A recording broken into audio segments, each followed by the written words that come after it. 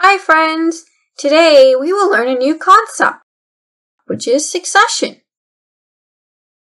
Succession is the orderly, natural, stepwise development of various species in the ecosystem and their dependence that forms a complex interlinked ecosystem.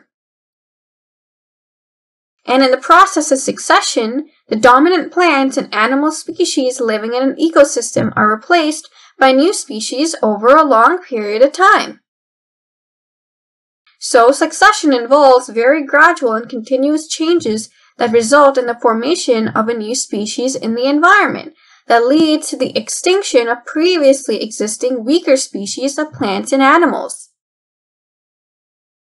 Plants play a very important role in succession as they are the sources of food and shelter for every species of animal in the ecosystem. And during the process of succession, environment conditions gradually change that are ideal for new species rather than pre-existing ones. So now we know what is succession. Now let's learn the types succession, primary succession and secondary succession. First of all, let's learn about primary succession. Primary succession happens in an area where there was no life before. For example, a landslide, volcano, or earthquake may create a large area where there's no life, so only newly exposed rock exists there. Now on this rock, you can imagine that a forest may grow with a lot of animals and birds interdependent on each other. Yes, a forest can grow that happens by the process of primary succession, and it happens not in years, but centuries. And this is what is called primary succession and today we will be learning how does it happen. So let's start.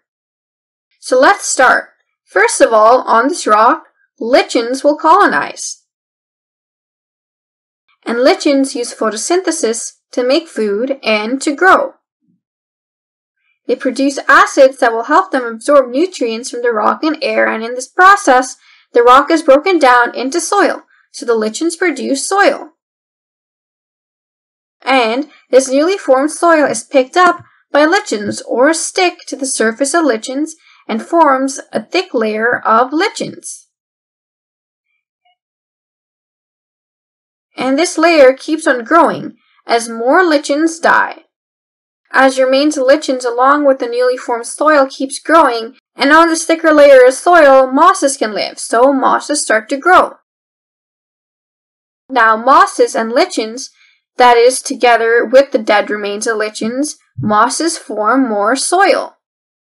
And ultimately, there forms enough soil on which small plants can grow. When the small plants grow, their roots break down the rock below and enhances the production of soil. As the rocks break, the finer particles of rock create soil, and on this freshly formed soil, grasses and weeds begin to grow, and the level of soil continues to rise. All these things, their dead remains, keep forming soil, and this creates a thicker, richer layer of soil that enables the growth of even larger plant species, like taller shrubs. And these taller shrubs compete with smaller grasses for all types of resources like water, soil, nutrition, and sunlight. And the grasses die out because shrubs compete with them for the resources and then there grows a thicker layer of shrubs. And shrubs provide better shade to the seedlings to develop and ultimately tree grows there. Now trees too compete with the shrubs for a lot of resources and eventually shade-loving herbs and shrubs under the tall trees develop, and the rest of the plant species die out. And this is succession. Newer species that grow with the changing environment conditions keep growing, and the previous ones keep dying out.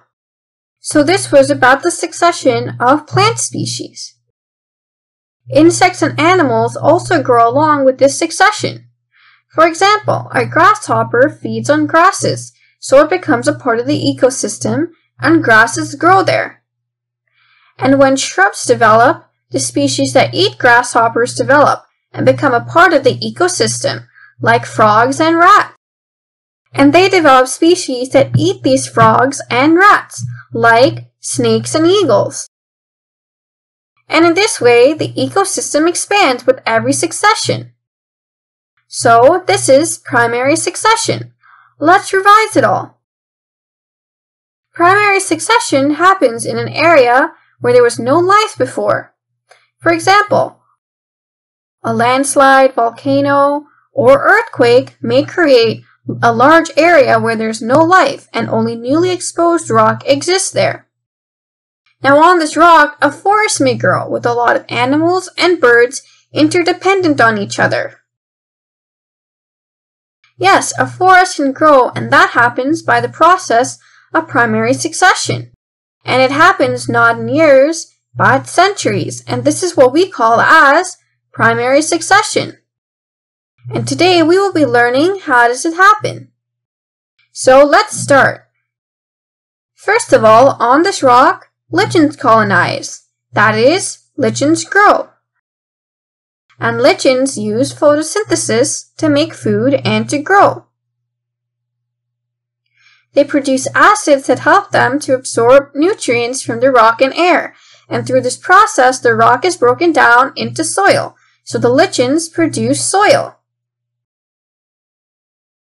This newly formed soil is picked up by lichens or stick to the surface of lichens and forms a thicker layer of lichens.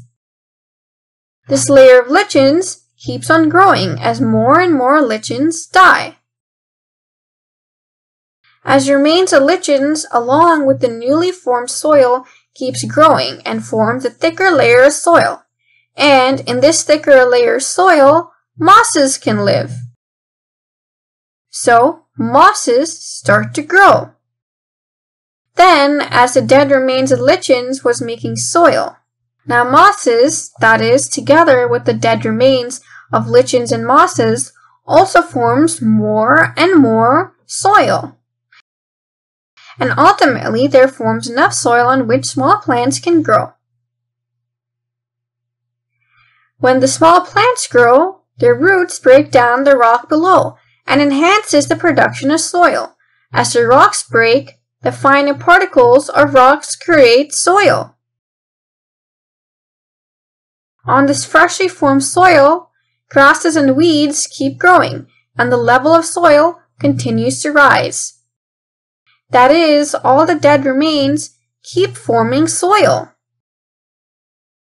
A thicker, richer layer of soil forms that enables the growth of even larger plant species, like taller shrubs.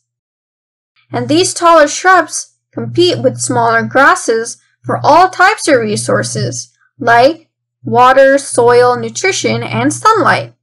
And these grasses die out because shrubs compete with them for the resources.